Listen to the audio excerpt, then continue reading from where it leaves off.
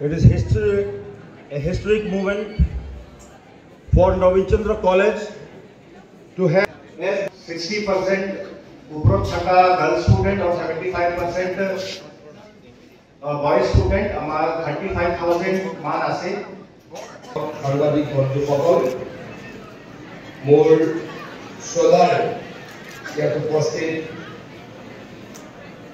ছাত্ৰ ছাত্ৰীসকল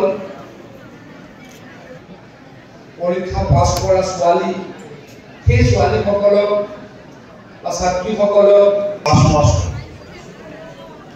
সম্মুখে উপবিষ্ট প্রিয় সাংবাদিক বন্ধুরা, এই মানব সভ্যতার মেইন ব্যাকবোন আমরা একটা সুন্দর আসাম, শান্তির দ্বীপ আসাম আর গুরুচরণ কলেজ অন্যান্য গুয়াহাটিতে বা অন্যান্য জায়গায় জায়গা এমন যানজট সৃষ্টি হয়। আমাদের হ্যাঁ পাতাকান্দি এমএলএ স্যার বলেছেন হ্যাঁ উনি আছেন আমাদের সামনে। তো উনি আমাদের আমাদের রিপ্রেজেন্টেটিভ পাতাকান্দি আমি বলি না, ওনাকে আমি সেদিন বলেছি, আমাদের এমএলএ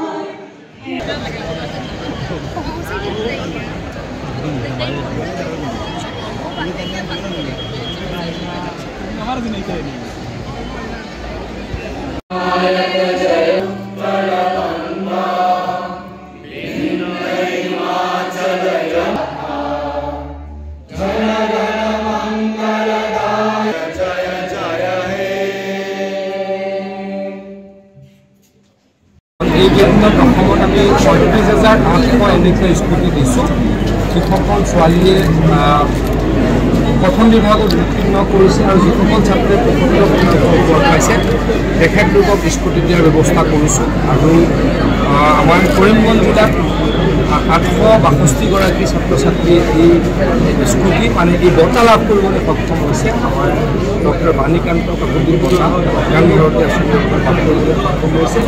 আচলতে আমি ছাত্ৰ ছাত্ৰীসকলক উদগনি জনাব খুজিছোঁ তেখেতলোকৰ আত্মবিশ্বাস আৰু বৃদ্ধি কৰিব খুজিছোঁ। তেখেতলোকে যাতে ভালদৰে পঢ়ে সমাজখন যাতে ভালদৰে পঢ়ে সমাজৰ প্ৰতি যাতে তেওঁলোক দায়বদ্ধ হয় তাৰ কাৰণে চৰকাৰে এই উদগনিমূলক বঁটা দিয়াৰ ব্যৱস্থা কৰিছে। এহেজাৰ বুলি মই শুনিছোঁ গৈ পালে তাতে গম পাম কিন্তু এটা খুব ভাল লক্ষণ শান্তিৰ পৰিৱেশ অসমলৈকে ঘূৰি আহিছে। ডক্টৰ হিমন্ত বিশ্ব শৰ্মা ডাঙৰীয়াৰ নেতৃত্বত বহুকেইটা এনেকৈ বিদ্ৰোহী সংগঠনে আলোচনাৰ মাজলৈকে আহিল বা অস্ত্ৰ সম্বৰণ কৰিলে সমগ্ৰ অসমৰ শান্তিৰ পৰিৱেশ উন্নতিৰ কাৰণে অতি গুৰুত্বপূৰ্ণ। আজিৰ এই যিটো আমাৰ আমি যিটো কাম কৰিবলৈ গৈ আছোঁ আমাৰ হাইলাকান্দিৰ কাটপিচা সমষ্টিত তাৰ ব্যাপক প্ৰভাৱ বৰাক ভেলীত পৰিব বুলি মই ভাবোঁ। আৰু ইয়াৰ পৰা শান্তি আৰু প্ৰগতি দুয়োটাই ত্বৰান্বিত গতিত। ইয়াৰে আজি দহজন চেৰিমনি কৰা হৈছে এতিয়া চবকে দি থাকিব কিবা কি কাৰণে দিলে ইনস্পায়াৰেশ্যন এটা ইনস্পিৰেশ্যন যে আজি ল'ৰা ছোৱালী পঢ়ি আছে আৰু আমাৰ অসমৰ পৰা মেধাৱী ছাত্ৰ ছাত্ৰী আমাক যদি মেধাৱী হ'ব লাগে পঢ়াত অলপ কনচেনট্ৰেট কৰি ফালে যাহাতে মানে ভালদৰে চবে পঢ়া শুনা কৰি এটা কম্পিটিশ্যনত গুচি যায়। সেইটোৰ কাৰণে। আৰু ভৱিষ্যত তেওঁলোকে যিহেতু আমাৰ দেশখন ৰাজ্যখন চাব লাগিব চলাব লাগিব। গতিকে এতিয়া যিমান পাৰে পঢ়া শুনা লাগে। আৰু সেইটোৰ কাৰণে আমাৰ মুখ্যমন্ত্ৰী ডক্টৰ হিমন্ত বিশ্ব শৰ্মা ডাঙৰীয়া এইটো উদ্যোগ লৈ ফালে কৰি আহি আছে।